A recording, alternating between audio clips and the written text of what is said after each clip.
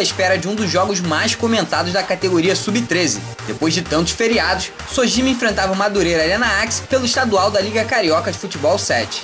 O Beerball de Irajá foi o palco da partida onde Arthur foi destaque. O camisa 8 do Sojima esbanjou a habilidade com a bola e anotou dois no marcador, sendo um deles um golaço.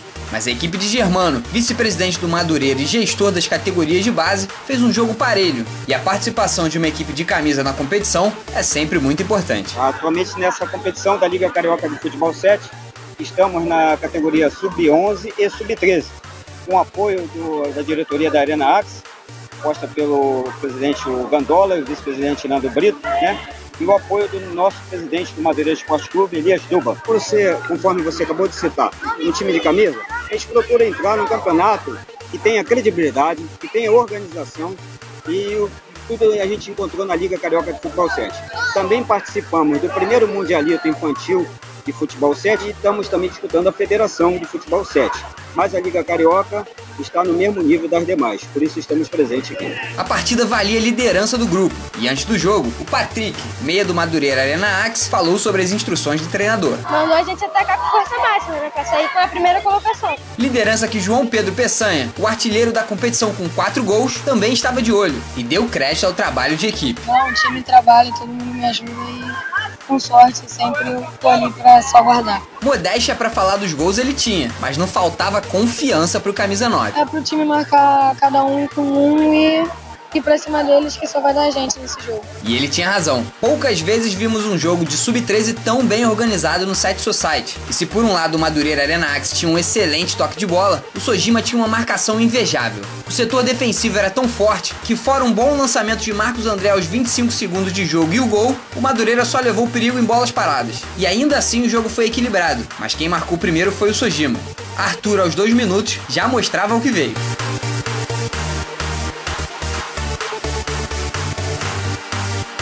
Aos 8, o goleirão Gabriel soltou a bola no pé de quem não podia, e aí o artilheiro Peçanha só empurrou pro gol. 2 a 0 Sojima.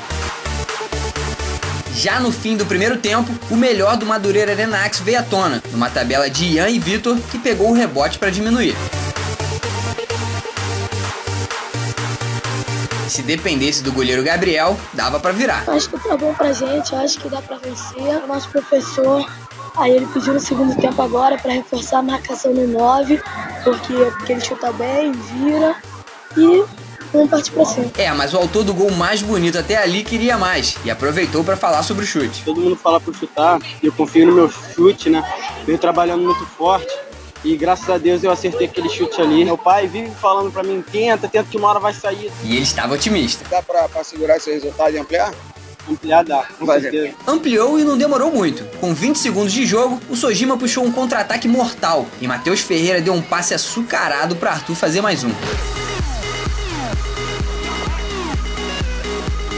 O gol tão cedo deu um banho de água fria no Madureira, que começou a errar lances bobos. Porém, mais uma vez provou que o trabalho tático está em dia. Depois de tentar a primeira vez logo aos 5 minutos do segundo tempo, a jogada ensaiada deu certo. Pedro Henrique achou Leonardo Ximenes livre para botar o Madureira de novo no jogo.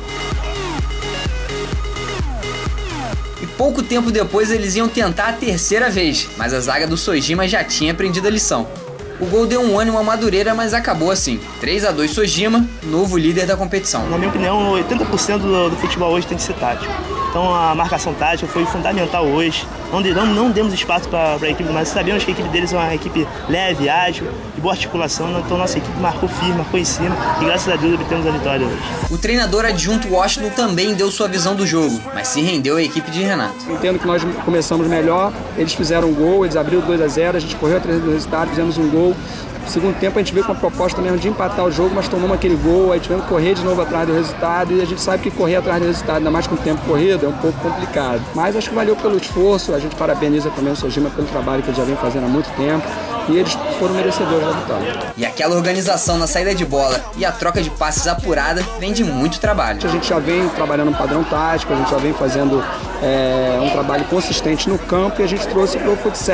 Tem uma preocupação muito grande com os jogadores é, jogarem com a bola no chão, evitar ficar rifando bola, porque a gente tem que pensar no futuro deles mais do que no resultado imediato, né? Uhum. Pelo menos eu trabalho dessa forma e a gente tem colhido bons resultados trabalhando assim. Quem tem trabalhado muito para mudar o estilo das escolinhas de futebol são os gestores do Sojima, Sérgio e Fernando. O Sojima nasceu da, da insatisfação da gente, como pais, de algumas escolinhas que tem no mercado onde só quer ganhar dinheiro. Então a gente queria que nossos filhos jogassem, tinham, que tinham qualidade.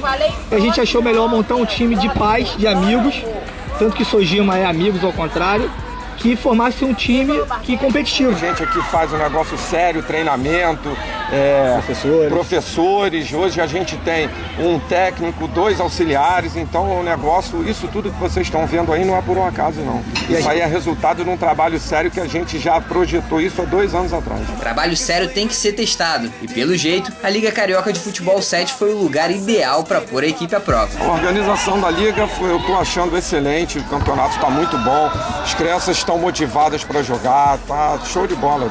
Não tenho que reclamar de nada, só elogiar. E de acordo com o Fernando, para ganhar deles vai ser difícil. A amizade que tem entre eles, eles te fecham, se unem e não tem como ganhar da gente não. Isso aí é, o mérito é nosso, mas é deles também. É, o mérito é todo dos meninos. O novo líder não joga neste fim de semana, enquanto o Madureira Arena Axe corre atrás de mais uma vitória contra o vice-líder Barcelona, no Espaço Laduma, para garantir a classificação para as semifinais. Acesse o site da liga para saber sobre classificação, artilharia e todos os dados da competição. Não deixe de curtir também nossa página no Facebook e fique por dentro de todas as novidades do esporte amador. Sigou e Liga Carioca de Futebol 7. O futuro do 7 Society está aqui. Shame